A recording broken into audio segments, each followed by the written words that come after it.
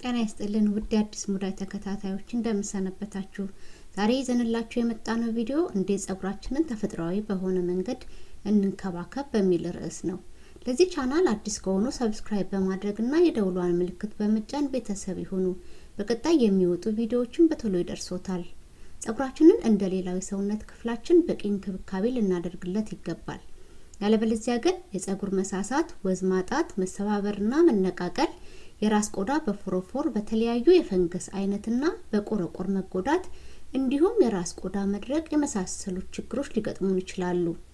እነዚህን ችግሮች ከሚያባብሱት ውስጥ ዋና ዋናዎቹን ብንመለከት ንጹህ ባልሆነ ውሃ ወይም በቧንቧ ውሃ መታጠብ፣ ተስማሚ ባልሆነ ሳሙና መታጠብ፣ ተስማሚ ያልሆነ ቅባትና ተስማሚ ያልሆነ የጸጉር ቀለም መጠቀም ሊሆኑ ይችላሉ።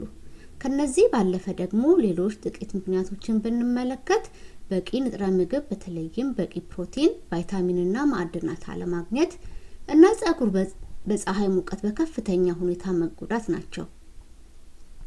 በዚህ ቪዲዮ ዋናዎቹ የችግር አባባሽ ለተባሉትና ለሌሎችም ይረዳ ዘንድ የሚከተለው መፍትሄዎች ይዘን መተናልና ይከታተሉን። እዚህ ከምንነግረው ውስጥ የቻሉትን እንደ ችግሩ ስፋት በሳምንት ሁለት ጊዜ በየሳምንቱ ወይም በየሁለት ሳምንቱ መጠቀም ይችላሉ። የተነገረውን መጠን በማስተዋል ለራስ እንደሚስማማ አድርጎ ማዘጋጀት ይገባል። እዚህ ቪዲዮ ላይ የምንነግራችሁ ለጸጉር እንክብካቤ የሚውሉ ነገሮች ተፈጥሯዊ የሆኑና ከኬሚካል ነፃ የሆኑ ናቸው። ይህም ሆኖ ግን ሁሉም ነገር ለሁሉም ሰው ይስማማል ማለት አይደለም። እንዲሁም የሰውነት መቆጣት ወይም አለርጂ የሚሆኑባችሁ ንጥረ ነገሮች ልትለዩ ይገባል። ጸጉርን ከመታጠብ በፊት ጸጉርን በሚረዱ ከቆዳ ላይ ቅባት፣ ፎሮፎር እና ቆሻሻን ሙልጭ አድርገው የሚያነሱ ነገሮች መጠቀም ጠቃሚ ነው። ለምሳሌ የተመረጠውን ተፈጥሯዊ ከተክሎች የሚዘጋጅ መታጠቢያ ወይም ተስማሚ ቅባት ወይ ደግሞ የጸጉር ዘይት መቀባት፣ የራስ ቅልና ጸጉሩን በደንብ ማሸት መሸፈንና ለሰዓታት ወይም ለአንድ ሌሊት ማሳደር ይገባል። የራስ ቆዳ እና ጸጉርን ለማጽዳትና ጤናማ ጸጉር እንዲኖረን ከሚረዱን ጥቂቶቹን እንመልከት። አንደኛ የአብሽ ዱቄት። እንደ ጸጉሩ መጠን አንድ የሾርባ ማንኪያ የአብሽ ዱቄት አንድ ወይም ሁለት ኩባያ ውሃ ላይ ቀስ በቀስ መነስነስ። ዱቄቱ ወደ ታች ወርዶ ሲወፍር በእጅ ወይም በትንሽ መምቻ ብሌንደር መምታት። በጣም እንዳይወፍር ንጹህ ውሃ እየጨመሩ መምታትና እንደ ልጥ ማዘጋጀት። ይህን ውህድ የራስ ቆዳ እና ጸጉርን በደንብ መቀባት። ከዛም በላስቲክ መሸፈንና ከላይ በፎጣ መጠቅለል። ከአንድ እስከ ሁለት ሰዓት ማቆየትና መታጠብ። ጥቅሙን ስንመለከት አብሽ ጸረ ፈንገስ ነው። በራስ ቆዳና ጸጉር ላይ የሚገኝ ቆሻሻን ያስለቅቃል። ለጸጉር ውበትና ጥንካሬን ይጨምራል። ተፈጥሯዊ በመሆኑ ለጤና አስተማማኝ ነው። ዋጋው ቀላልና በቀላሉ የትም ቦታ ሊገኝ ይችላል። ሌላው ደግሞ የአብሽ ዱቄትና እርጎ ነው።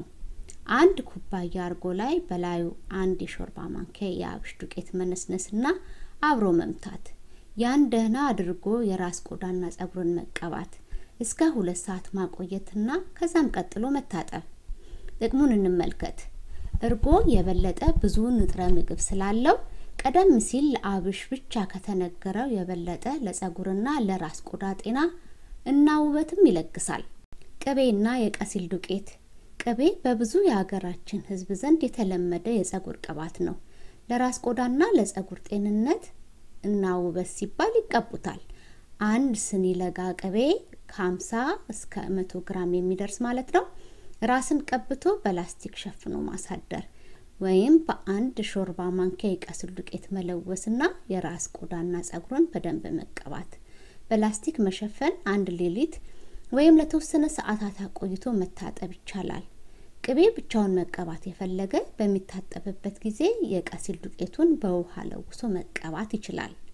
ጥቅሙን ስንመለከት ቅቤም ሆነ ቀሲል ለቆዳና ለጸጉር ዘመናትን ያስቆጠሩ መድኃኒቶች ናቸው። ቅቤው የሚፈለገውን ግልጋሎት ከሰጠ በኋላ ቀሲሉ ያስለቅቀዋል። የቅቤው ሽታ ይለቃል ማለት ነው።